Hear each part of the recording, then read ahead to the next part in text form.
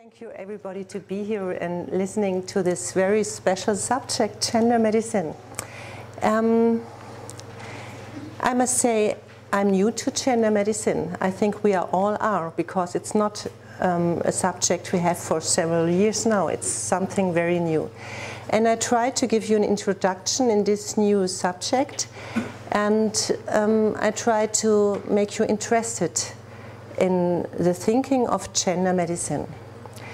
Um, I start with an example. I had, you might hear it, um, my voice is a little bit um, like um, coarse and um, I had kind of a little flu the last days and George said today, oh, you might take some ibuprofen.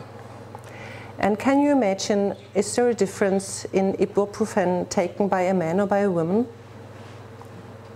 Do you know it? Yeah? Women metabolize it faster, so their effect, like, you require a higher dose for like the same effect. Yeah, very good. Um, so, I, did I get it right? Um, women metabol metabolize it faster. So um, women needs more dose, or if you gave the same dose to women than to men, it's less use for women. So I decided not to use it. I took paracetamol. Do you know the difference in women and men with paracetamol? It is one. It's the same. Um, um, it's the same effect, but it's much more toxic in women than in men. So um, women die faster from taking too much paracetamol. So that's only, you know, it's just a very short example of today, um, of a very, um, yeah, what I just um, felt I will start with. So where's my, here. So um, this is a gender person. And sometimes it's quite um, important to start at the very beginning. And to start at the beginning is to start with words. You know, what does gender and sex means? So at the moment, gender is a kind of political subject, and it's um, written a lot about it. And um, it's in Switzerland, where I'm coming from, or in Germany, there's a lot of discussion about um, our people are able to say, I'm male, I'm not a male, and um, there's kind of speech and kind of language. But what we really should start with is to be sure what does what does it mean.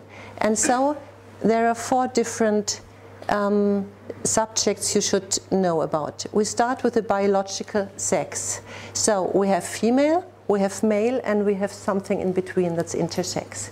That's due to chromosomal differences or due to um, um, antibody problems. Or I'm, it's okay? Better like this? Yeah? No chains? Mm -hmm. And so that's what we call sex. Um, in Germany, we don't have a word for sex and one for gender. We have one word for both. That makes it more difficult for German people understanding what is meant.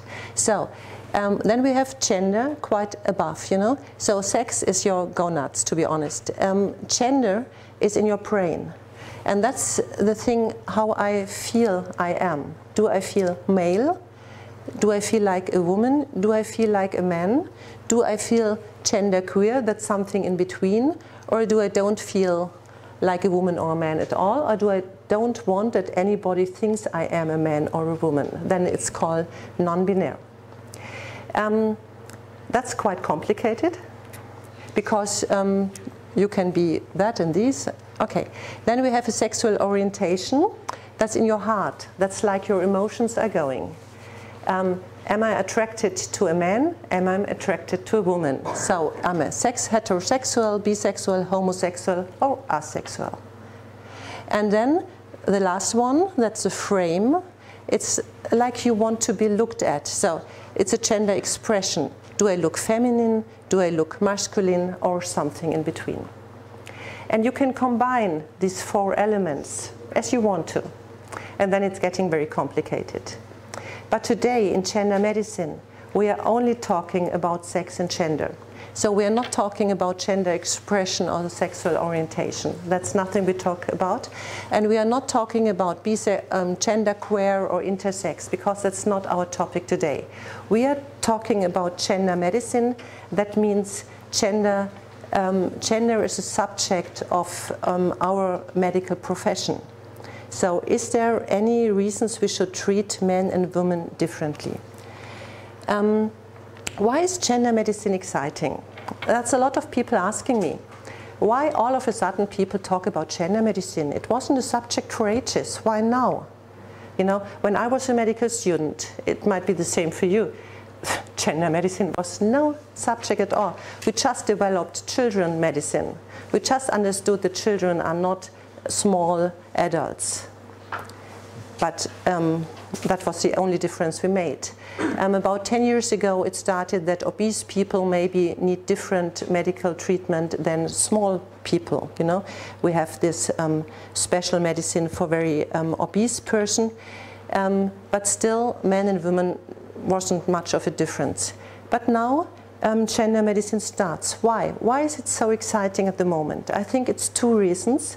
The one is we have a change in feeling how medicine is working. For about 200 years, we had a, a, philosophy in medicine that meant we are kind of biomechanical way of working. Something is broken, go to the doctor who will repair it.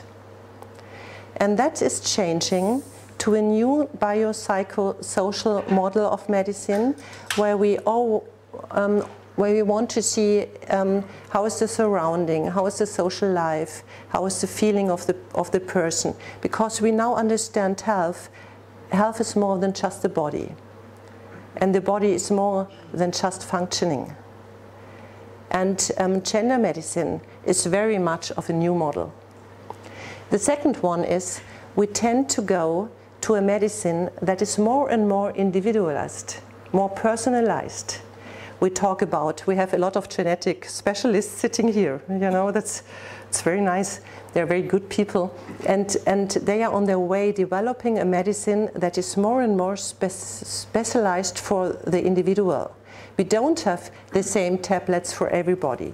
We make a tablet for this person and this illness, and it might be different because people need different um, tablets. They need different medicine, and on this way the gender medicine can help us a lot because it's a very it's a it's still a very easy um, separation to say we have men and women but it's a way on the into the direction of the personalized medicine. And so um, it's a good model to learn how to treat people um, differently and to think what do we need for getting better in this. So what people ask as well, is this woman medicine? Is it only for women? Is it a female medicine? And I say, no, it's not. And this is um, just a part of an interview I gave about two months ago, where they ask me, is that Frauenmedizin, women medicine? No, it's not. Gender medicine is not women's medicine. I'm a gynecologist. I know what women's medicine is. But gender is different. Gender medicine means we want to have the best medicine for men and for women in the way that we just see what they need because of their gender and their sex. Um, we've done this first course at the University of Lucerne, and it was um, in Switzerland. That's a very new development. It's the first big course we have in Switzerland for medical students. It's a 28 um, hour course for six-year students. Students, so um, it's new. Um, you see, that's the UN goals. You all know the 17 goals of the UN, and we have um, health and well-being for all. We have um, um, gender equality, and what else? We have um, reduce inequalities. And so it's still an international goal to say, care about gender. It's a topic. So we start from scratch. And the World Health Organization have done the first, they always do the surveys, you know, who is living the longest and um, what are people dying from. And in 2019, the first time, they made a differentiation between um, the gender. So that's very important for us. And I just give you a few marks, um, which is quite good to know. So you have a feeling for the differences between health in men and women. So if you are born in 2019 and you are a boy, and that's for all the world. It's not for Cyprus, not for Switzerland, for all the world. You are going to be nearly 70 years old. If you are born, um, um, born as a girl, you will be 74 years old. So there's a four years difference worldwide between men and women. That's five years longer than 20 years ago. That's quite an improvement. But if you are born in a rich country like Cyprus or Switzerland, you live 18 years longer than if you are born into a poor country. And what's very funny, um, if you are born to a rich country, the difference between men and women in survivorship is seven years. It's longer than the worldwide difference. Why? Have you an idea why? Because we still have a big problem in the pregnancy and birth um, um, things in the poorer countries women are still dying a lot from being pregnant and giving birth to babies, and we don't have this problem in the richer countries. So in the richer countries, we have a seven. In Switzerland, we have an eight-year difference between male and women survivorship. That's much, isn't it? Seven years? Boah. If, if I would be a male, you know, I would say, we have to change this. That's not fair, you know? Um, and for the women, they are very alone when they get older. And that's something the older women really fears, you know, because at birth, for 100 um, girls, there are 107 boys. Nature is very clever, isn't it? but when, when the woman is 60 years old, there's only 95 male left for 100 women. And if she gets 80, 85, only 60. And if she's 100, there's only 30, male, 30, 30 men left for 100 women. So the men are really dying quite early, isn't it? Yeah, you can see it if you are more visual people, you can say it. So why do the men die earlier than the women? It's they have a more unhealthy lifestyle, you know? So they have more nicotine five times. They have more alcohol four times and they eat more red meat than women do. Then men go to the doctor less often if they have the same illnesses than women.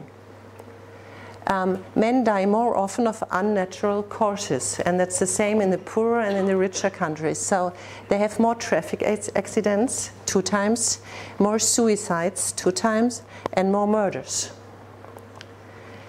Um, and men die more often from diseases. Okay, maybe that's um, due to the unhealthy lifestyle, but still, of the 40 diseases that most frequently lead to death, 33 affect men more often.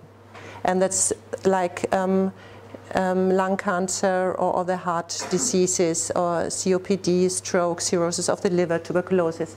All this stuff, men are more prone to get these illnesses and die of it. Okay, that's just an example. That's Swiss data. And you see that's um, overweight. And that's the man, that's the woman. And you see overweight is still more frequent in the male than in the female.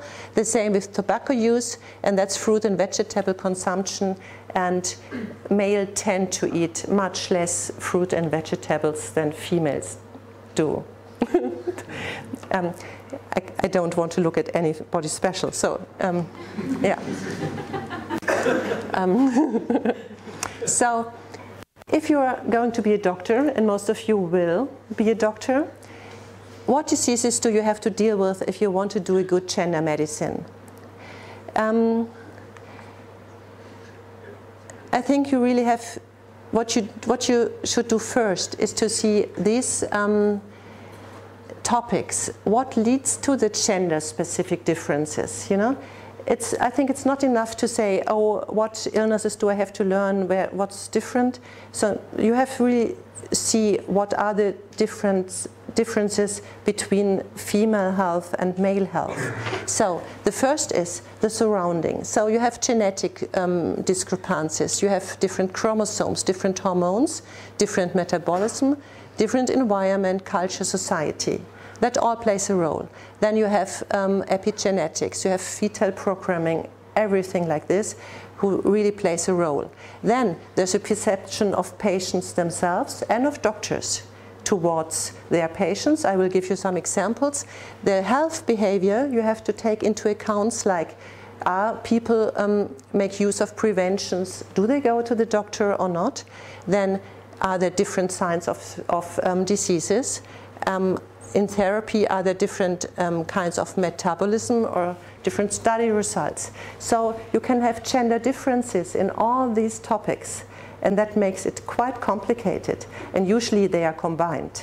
But what is very important for me to know, and it's very important for you, you don't need to have gender medicine as a subject in school. That's not the point.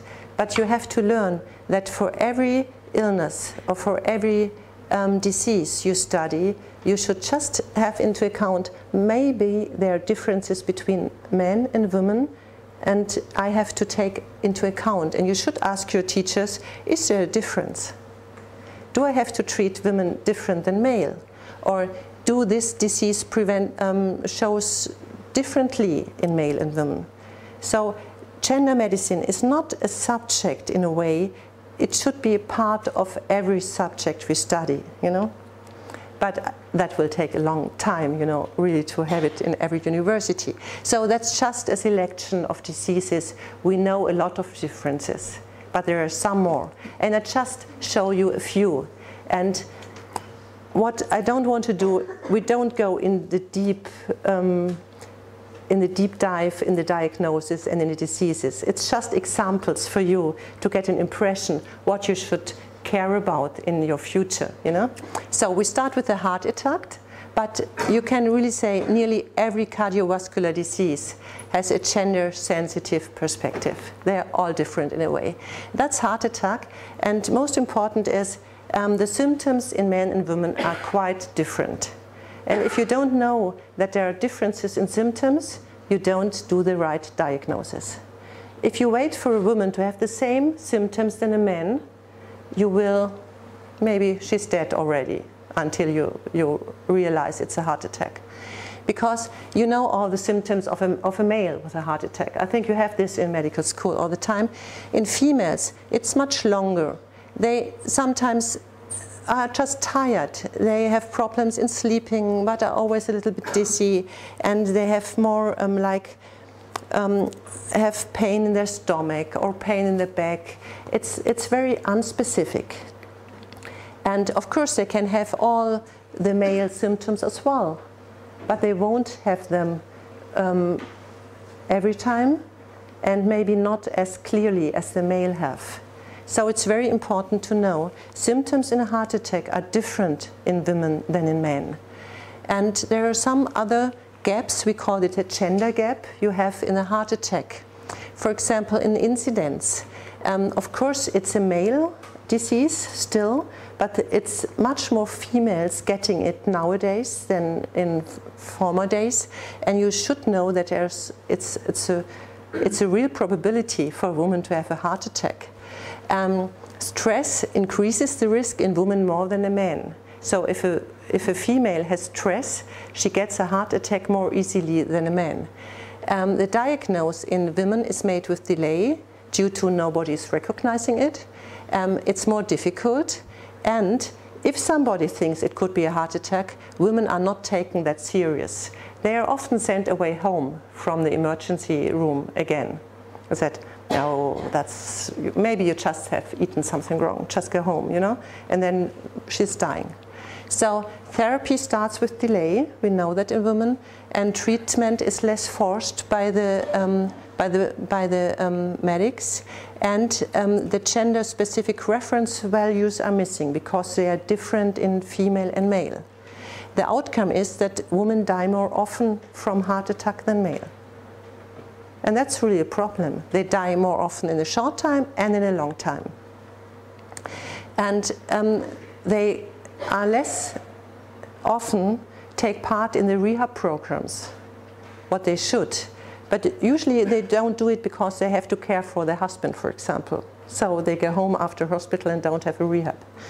Um, medicine, they are underrepresented in studies, and we know that quite a lot of the heart um, drugs um, are not tested in women and are in the wrong dose. So we can't take it for granted that what we are learned is the right dose for men, is the right dose for women. So much of the, of the drugs may be overdosed, but we don't know. We should do all the studies again. Um, that's just an example, heart attack. Next is um, lung cancer. Every cancer, in fact, has a gender um, bias, um, but that's um, the lung cancer. And what we know that um, women have a higher risk of lung cancer if they smoke the same amount of cigarettes. So if you have a young girl starting, starting smoking, you should stop, make her stop, because um, she's so much more prone to get a lung cancer from smoking than a man, three times more often. So it's not just dangerous, it's three times more dangerous if a woman smokes than a man smokes. I think um, a lot of the young women don't know this. If they should know, maybe they would stop, you know. And um, they get the adenocarcinomas after fewer pack years than the men. And they get more COPD, much more faster than the men do. So cigarette smoking is much more um, um, um, aggressive for women than for men. It's because they have another DNA repair capacity and they have a, a CYP1 expression that is higher due to the estrogen levels. And there's a lot of other um, factors influencing this. But it's important to know, you know. The only good thing is um, they live longer when having a lung cancer, but still you don't want to have a lung cancer, you know. Next topic is um, depression. Um, all, all of the psychiatric issues have a gender-specific aspect, and I only show you de depression and RDS. So if you see the suicides per year, and that's the Swiss data, you see that men suicide themselves three times more often than females. And most of the suicides are due to a major depression. And we all think depression is much more higher in females than in male. But that's not true. It's, it's true for the mild depressions, you know, for this, um, in the mild depression, it's about 30% against 20% lifetime risk. Um, so it's more women than men. But for severe depression, it's the same. You know? So men got depressions in the same frequency than female. And just let's go through this very shortly. It's, um, we have a genetic predisposition, that's true. We have um, women have this estrogen um, problem that makes them more depressive. We have social and relationship disorders and professional and financial problems, um, which all makes um, depressions. The perception of the patient is depression is a woman's disease. So a man usually don't want to go, want, don't want to be diagnosed with a depression because that's not male you know. So, and the doctor has the same perception. Um, and there's one very nice study, it's a German study, that doctors diagnose women three times more often with a depression than men, even if they have got the same symptoms, you know. And it doesn't matter if it's a female or a male doctor, they do it wrong both. And uh, the study was done with simulation patients. So they went to the doctor, to female doctors and to male doctors with the same symptoms of um, depression. And the females have been diagnosed three times more often with depression than the males. So we have to see this to know that even the doctors have a big bias, you know, in, in doing the di diagnosis. And to the men, the doctors often say, oh, take a break, then you will be fine. And that's a big disadvantage for male, you know, because they go outside and suicide themselves. So it is a problem. Um, the symptoms are a little bit different. Um, like you see in the women, you have more like hopelessness, sadness, lack of drive, inner emptiness. And the work and the men, they they work even more. They show anger, aggression, self-aggression, or addiction, and they feel they don't want to be helped. The women they try to commit suicide, but it's just a cry for help, so they don't do it correctly the male don't want to be helped, so they are successful. Um, one other example is um, the attention deficit syndrome. Um, we have about a 10% incidence in Switzerland in, in, in the children with the symptom, and it's much more boys than girls. And this is a German book. I don't know, do you know um, Fidgety Philip? Um, it's, it's a story, it's a German psychiatrist who wrote a book for his three-year-old son. And um, he, this fidgety Philip is a very nice uh, model of the attention deficit syndrome with hyperactivity. And the Johnny hat in the air is that of the, um, um, the attention deficit part of the illness. And um, what, we, what we see is that that's the boys, that's the girls, the girls are underdiagnosed. We think maybe the illness is quite equally in both sexes, but um, the girls are hardly ever diagnosed correctly. What, why? Um, because girls with, with um, the syndromes, they, um, they behave different. Um, they withdraw, they adapt, then integrate actively, they do not stand out disruptively, and they hide their exhaustion during the boys, you know them, you know the hyperactivity boys, you know, you can't miss them. Sometimes they are over-diagnosed because every boy who, who's a little bit rude is being diagnosed. But the girls, they are overlooked. So it's quite vice versa in the depression, you know. Depression is a woman's illness.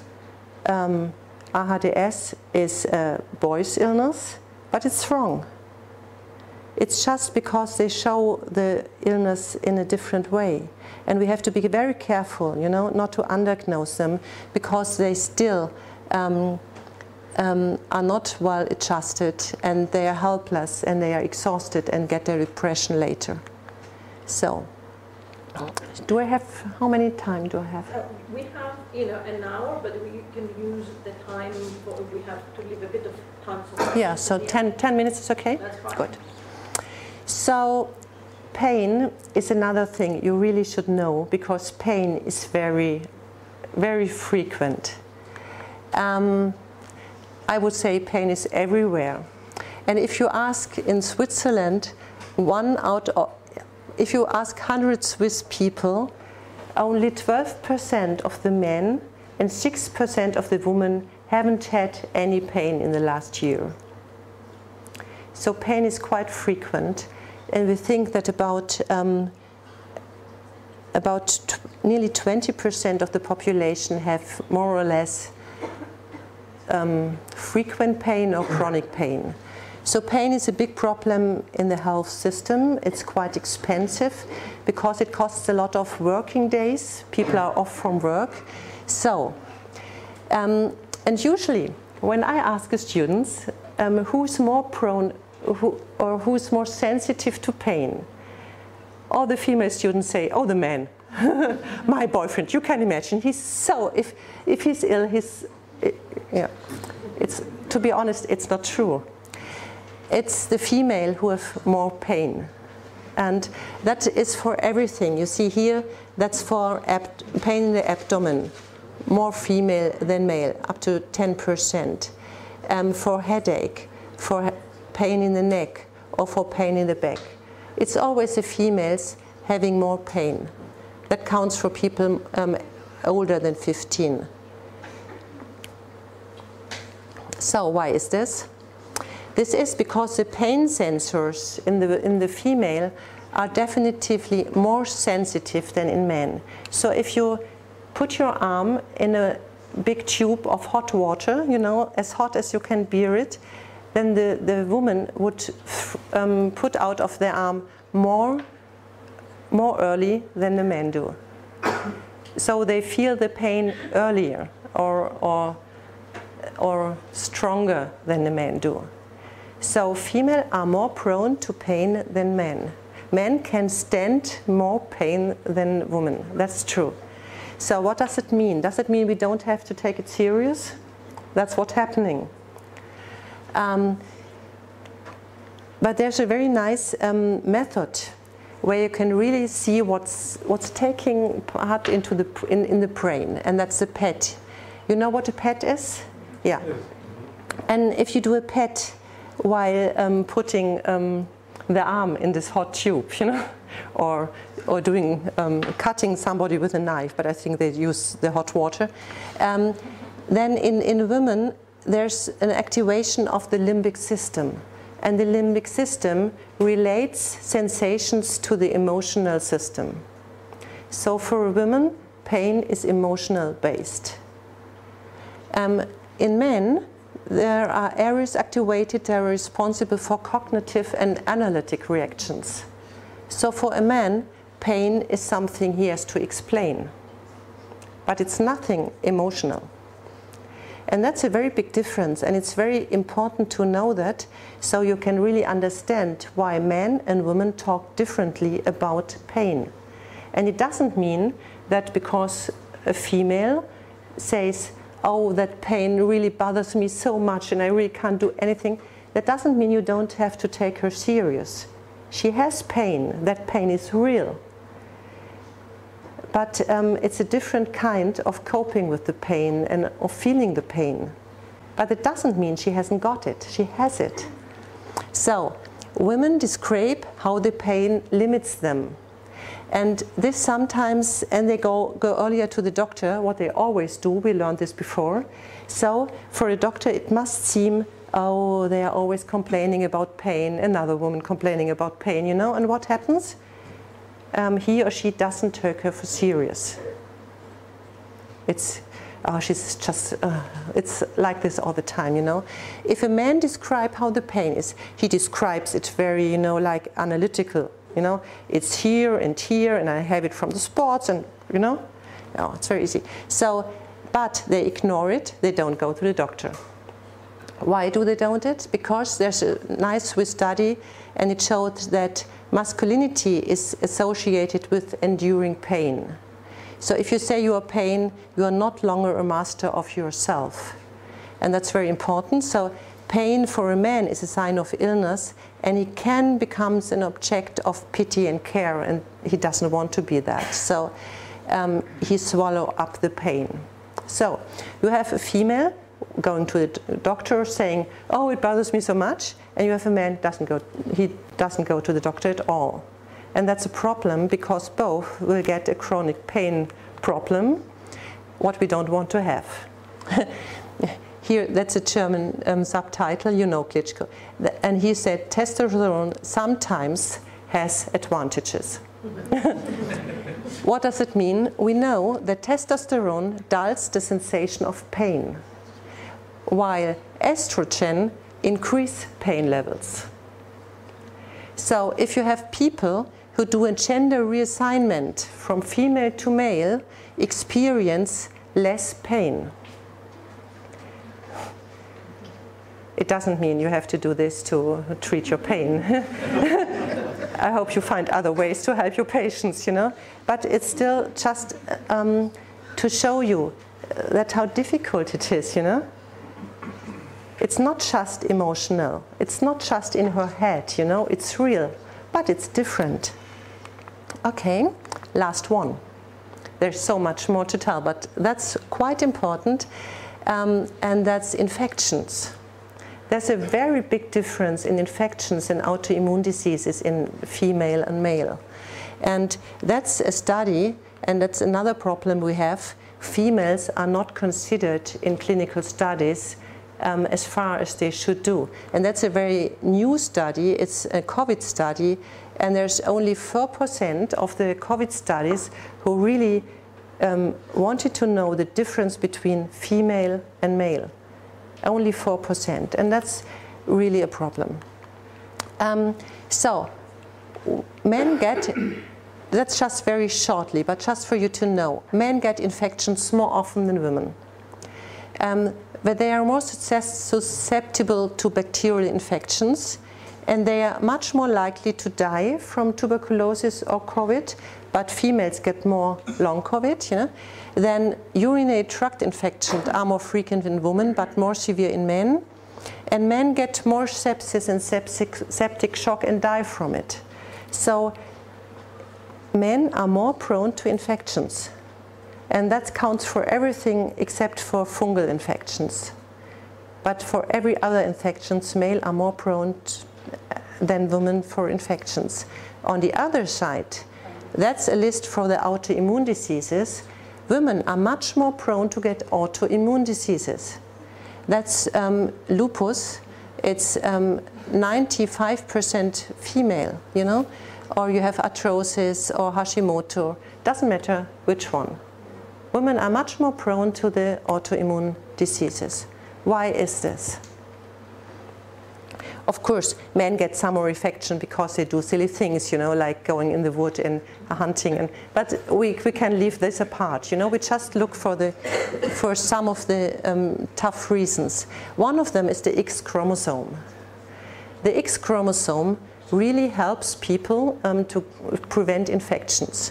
So the X chromosomes carry a lot of genes responsible for the innate immunity. And people who have a second X chromosome you know who this is, that's females, most of the time, are more likely to have more genes read and have better innate immunity. So that's a female advantage. They have a better protection against parasites, a better protection against bacteria and viruses, and a stronger reaction to vaccinations. So we now know that female should need less dosed vaccination levels but we don't do it. We just give them the same doses. That's not a good idea. They don't need it, but they have more toxicity. So um, next thing is um, this effective immune response that protects women from serious infection promotes the development of the autoimmune diseases. Because if you have a better immune system that's stronger, it's better for against yourself as well. That's a problem. Um, just to show, it could be that this X chromosome is very important is the Klinefelter man, you know the Klinefelter disease? Um, it's the boys with the quite long arms and the heart failure. They have an XXY chrom chromosome set, and they have a 14 times higher risk of lupus than male because of this one more X chromosome. So you should know this in your practice. If you have a Klinefelter boy, he has uh, quite the same um, risk of getting autoimmune diseases than a female. And the triple X women still have a threefold increased risk of lupus. So it's usually it's very good to have two X, but not if you talk about autoimmune diseases.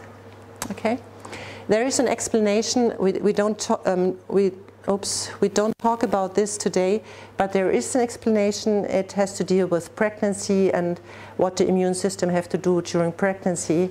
Um, one reason we have more autoimmune diseases nowadays might be that we have less pregnancies nowadays, and the pregnancies could prevent or could help in this disadvantage. But now we, we, we can't tell the woman to have 10 children. That's not a solution again. So you as a doctor or you as doctors, you have to find a better solution, you know. So um, the second point is the hormones. You can think, oh, it's the same, it's chromosomes and hormones. It's not the same. So we have the chromosomes on the one hand, and we have the hormones on the other hand. So autoimmune diseases, they often develop during a hormonal transition phase like in the when when the girls grow into females or after pregnancy or in the climacterium or something. And that is due to the estrogens turn on the interferon genes and activate the B cells. And together with this, progesterone binds to receptors of the T cells and macrophages. So all the female hormone stuff helps getting autoimmune diseases. And testosterone is immunosuppressive. So sometimes it's an advantage to have testosterone, you know. So um, and vice versa, if you have a man with a hypogonadism, he will be more prone to have an autoimmune disease. Okay, we stop here.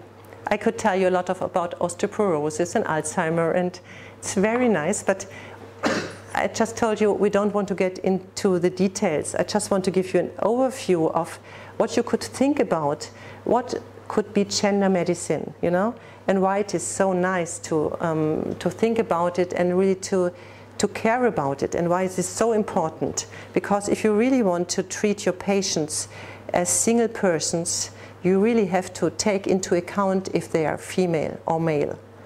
And if you are um, more advanced, there's something in between you might um, consider as well, but not in the beginning. So, what you should know. Gender medicine um, is something quite new and it's a new kind of thinking. And what you've seen, we are not only talking about diagnosis and therapy, we are talking about how people behave, you know, what is their health habits, what is their, um, do they um, go to the doctor, and what is the bias the doctors have. That all um, you have to take into account if you really want to do a good medicine.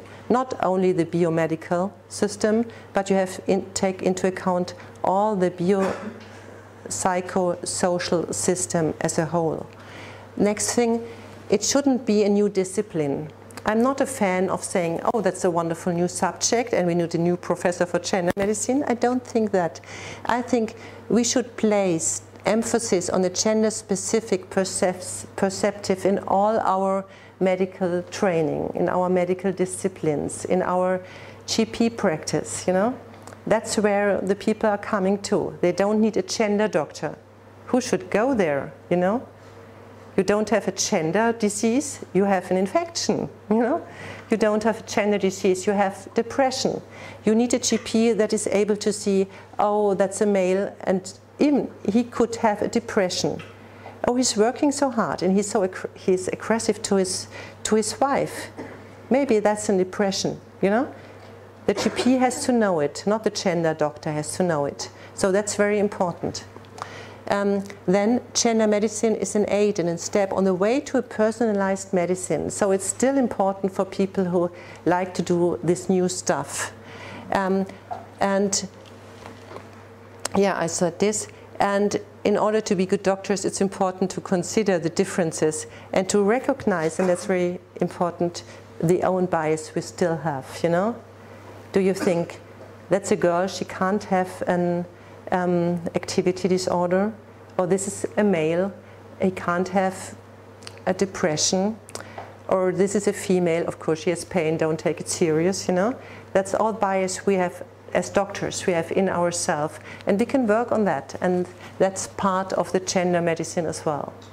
And I think if you take home this, that's enough for today. Thank you very much for your attention.